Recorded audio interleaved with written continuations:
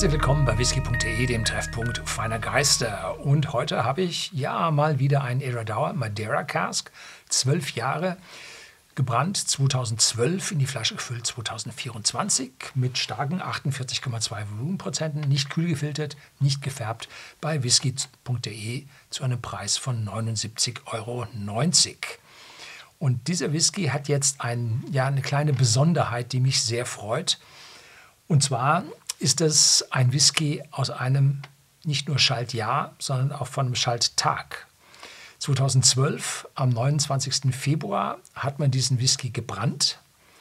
Und 2024, am 29. Februar, hat man diesen Whisky in die Flasche gefüllt. So haben wir hier eine ganz spezielle Flasche, die es so ja eigentlich nur ganz, ganz selten geben kann. Und ein Schaltjahr, wissen Sie alle, da gibt es den 29. Februar.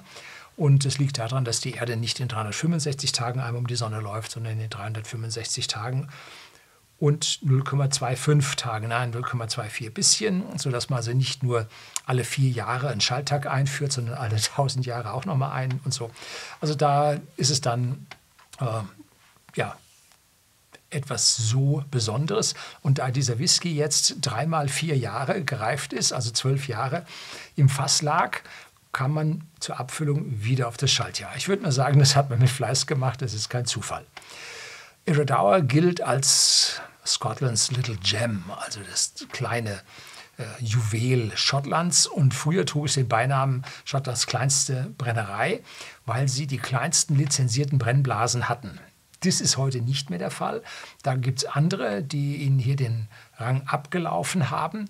Und Edderdauer war so erfolgreich oder ist so erfolgreich, dass sie ihre Brennerei glatt verdoppelt haben. Aus dem kleinen Brennhaus haben sie nebendran jetzt ein größeres Brennhaus gebaut. Allerdings die identischen, nach den identischen Plänen gefertigten Brennblasen, Meshtannen und so weiter damit eingebaut, dass der Geschmack von Edderdauer sich an dieser Stelle nicht verändert. Also jetzt haben wir praktisch zwei kleine Distilleries dort stehen von den Potstills her gesehen. Man hat auch, ich weiß nicht, ein Dutzend Lagerhäuser dazugebaut, weil man einfach jetzt mehr Whisky mit längerer Reifezeit haben möchte und die ganzen Operations von Signatory Vintage, die dem Eigentümer ebenfalls gehören, dass man die da mit dabei haben will. An einem Fleck muss man nicht umeinander fahren. Macht ja Sinn. So, Madeira. Ach so, Madeira habe ich vor, oh zwei Jahrzehnten, weiß ich nicht, ungefähr, da habe ich mal Madeira besucht und habe da die Bodega Enrique und Enrique besichtigt. Und da sind wir dann rauf in die Berge gefahren zu den, äh, ja, den Reifelagern für den Madeira Starkwein.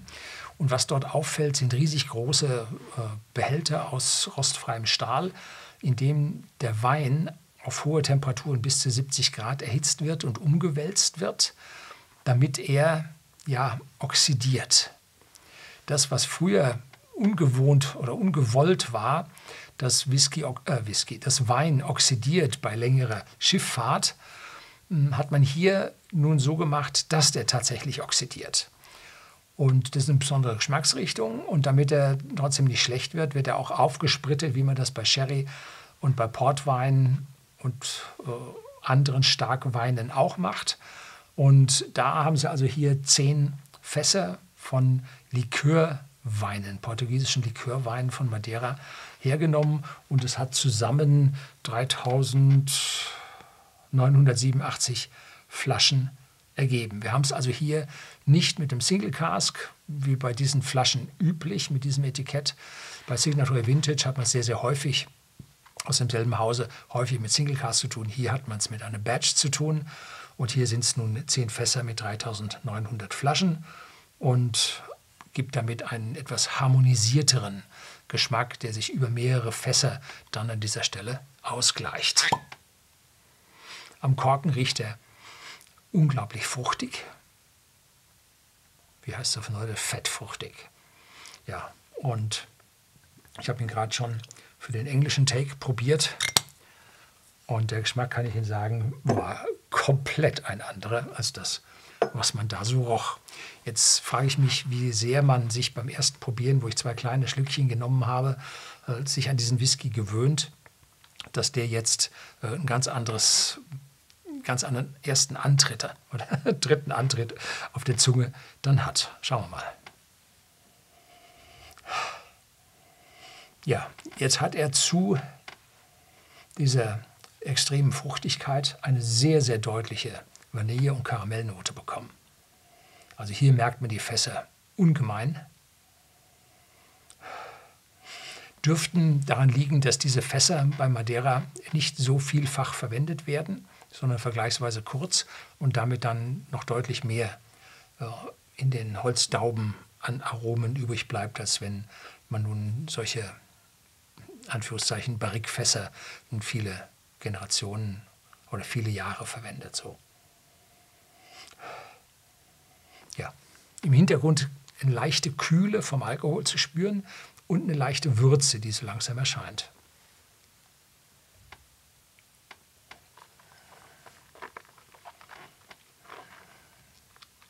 Mhm.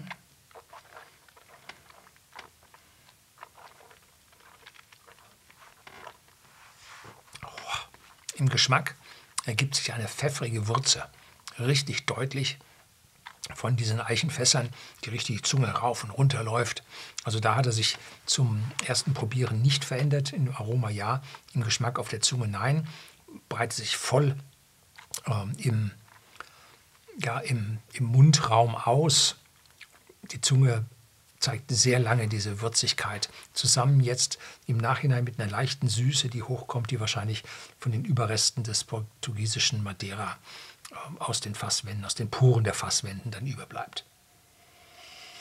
Ja, dann ist da sowas wie, ja, ein, für Gewürzkuchen oder äh, Christmas Cake, also diese Orangat, Zitronat, äh, Lebkuchenartigen äh, mit Nelken, Kardamom und einem Haufen Gewürzen, gewürzte Kuchen für Weihnachten oder zu Weihnachten. Äh, diese Gewürze bilden sich hier auch ab, zusammen mit dem üblichen Verdächtigen, so dunkle Früchte, Feigen, Datteln, Pflaumen, Rosinen und und und. Ne? Also da ist tief und viel drin.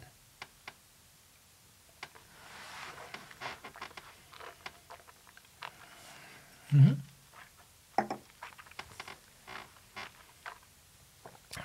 Also richtig kräftig, richtig massiv und zu dem intensiven Geschmack trägt sicherlich dazu bei, dass Edward Dauer mit die kleinsten Brennblasen in Schottland hat. Und diese Brennblasen, also ein Speichelfluss noch, boah, und diese Brennblasen separieren den Alkohol über eine lange Säule nicht so deutlich, sodass man mehr Aromenstoffe mitbekommt und deswegen der Whisky einfach aus kleinen Brennblasen intensiver schmeckt als aus großen Brennblasen. So, das soll es heute gewesen sein. Herzlichen Dank fürs Zuschauen.